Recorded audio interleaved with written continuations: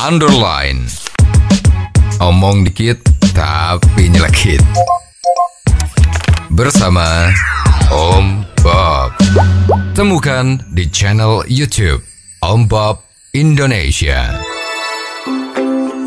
Om Bob, gonjang ganjing pro dan kontra gaji fantastis Badan Pembinaan Ideologi Pancasila atau BPIP, Yudi Latif kali ini mengambil sikap yang mengejutkan. Bagaimana Om Bob menggarisbawahi masalah ini?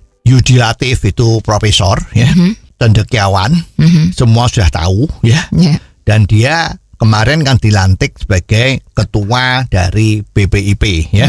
Badan Pembinaan Ideologi Pancasila Ya. ya. Tanggung jawabnya langsung di bawah presiden Mhm. ya. Ya.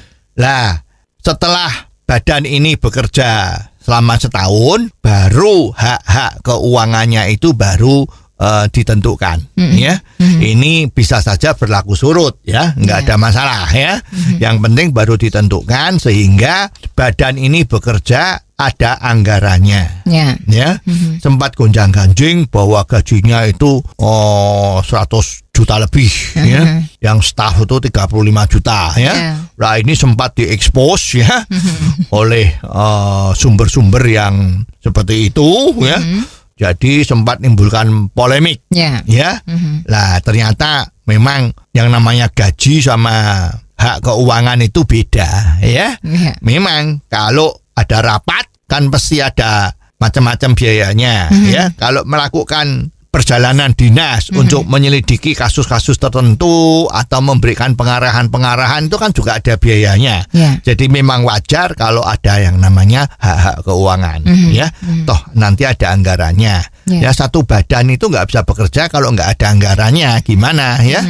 Seperti itu ya. Tapi saya yakin semua anggota yang ada di BPIP ini nggak masalah soal gajinya. Mereka mau bekerja karena memang idealismenya eh, akan membawa Indonesia itu lebih baik. Ya. Ya, seperti kita ketahui kemarin itu kan ideologi Pancasila yang sering menjadi dasar negara ini implementasinya kan kurang baik ya.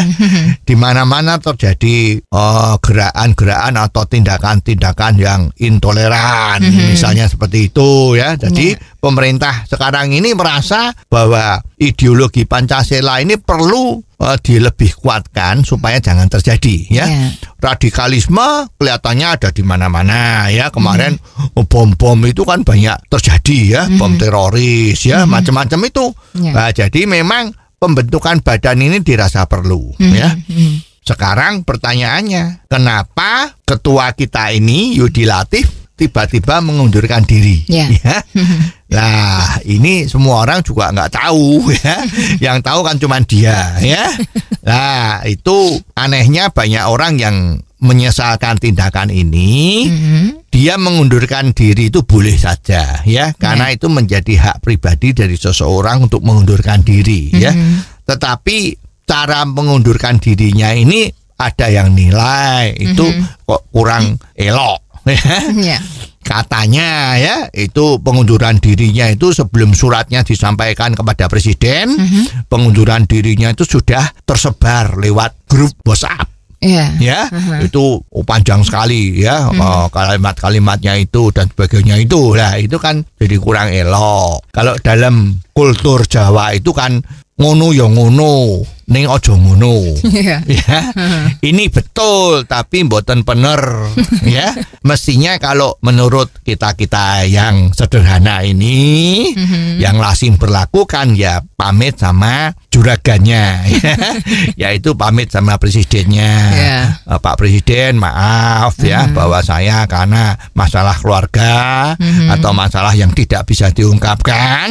Maka dia akan mengundurkan diri dari jabatannya Iya. ya nah setelah presidennya bisa menerima lah barulah ya eh, sang yang mengundurkan diri ini baru boleh nge-tweet ya apa di grup WA-nya pamit Mhm. itu lebih elok Ya. ya Ya. Salah nggak ini kira-kira Om Bob? ya kalau bilang salah betulnya itu ya tidak ada salahnya, cuman kurang elok ya. Ya. Jadi kalau kita mengundurkan dirinya seperti tadi itu pamit dulu, lah itu itu sangat elok dan cantik ya. ya. Ya jadi kalau modelnya seperti ini ya nanti gimana ya kan ya kurang enak kan baik yang mengundurkan diri juga menjadi tidak enak karena banyak orang yang mempertanyakan cara-caranya Ya. dan sebaliknya sebagai pimpinan Yudi Latif ini juga hatinya juga nggak enak Ya. loh mengundurkan diri kok modelnya seperti itu ya padahal kalau di perusahaan perusahaan swasta itu Mhm. mengundurkan diri kan ada ketentuannya toh. Iya. Baik yang tertulis maupun tidak tertulis ya. Iya. Eh, dua bulan sebelumnya harus memberitahu dulu lah. Itu kan tujuannya kan baik semua ya. Ya. Ya. Jadi saya kira ya ini menjadi contoh dah ya Mhm. untuk yang akan datang bagi pejabat-pejabat lain itu kalau mau mengundurkan diri ya tidak modelnya seperti ini ya. Mhm. Ini kan kaget ya. ini ketuanya tiba-tiba mengundurkan diri. Ada apa? Iya. Wah, kan jadi orang jadi tanda tanya Mhm. ya. Dan mestinya juga karena situasinya ini lagi rame kan, Ya. karena begitu hak-hak keuangannya itu eh, diumumkan kok terus tiba-tiba mengundurkan diri. Ya, ini Ya. kan juga momennya kurang pas. Oh, jadi begitu ya Om Bob. Jelas deh sekarang. Terima kasih Om Bob untuk waktunya. Sampai ketemu lagi di waktu yang akan datang. Untuk kritik dan kasus yang perlu dikomentari Om Bob, silahkan kirimkan email Anda ke ombobindonesia at hotmail.com. ombobindonesia at hotmail.com. Underline. Omong dikit tapi nyelekit. Bersama Om